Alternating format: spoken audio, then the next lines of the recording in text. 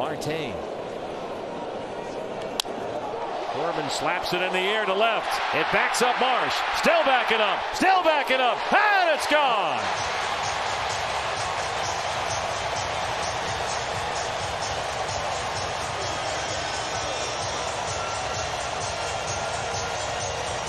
That carried way out to left. The 10th for Corbin, and it's 11 to 1.